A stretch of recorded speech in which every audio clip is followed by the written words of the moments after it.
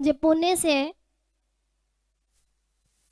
जिस सिस्टर का नाम नमिता है और जिस सिस्टर की गवाही जे है, जिस सिस्टर बता रहे कि पहले जो सिस्टर प्रेयर करते थे और ये पाँच महीने से हमारी मिनिस्ट्री के साथ जुड़े हुए पर जो सिस्टर प्रेयर तो करते थे, पर इनका मन नहीं लगता था। इनको बहुत सारे सपने आते थे, ऐसे व्यभिचार के और भी बहुत सारे गलत सपने आते थे, जिसके कारण इनका इनका प्रेयर में मन नहीं लगता था। और ये बहुत परेशान थे, क्योंकि ये हर एक मीटिंग को ऑनलाइन देखते थे थर्सडे संडे बहुत विश्वास के साथ जो मीटिंग को ऑनलाइन देखते थे और ये बताते कि वो मान नहीं मैं परमेश्वर को दे पाती जो प्रार्थना में देना चाहिए।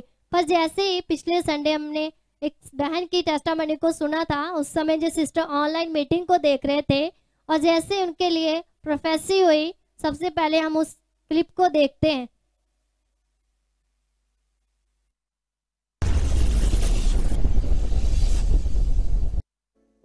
बहन मैं तेरे लिए प्रोफेसी करता हूँ।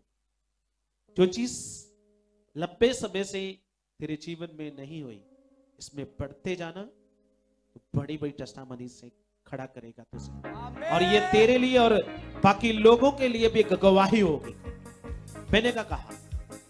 मैं प्रोफेसी करता हूँ इस बात की और ऐसा होगा यीशु मसीह के नाम से। तारीफ़ करो फिर से। ज़ोर से ज़ोर से ज़ोर से दिल से।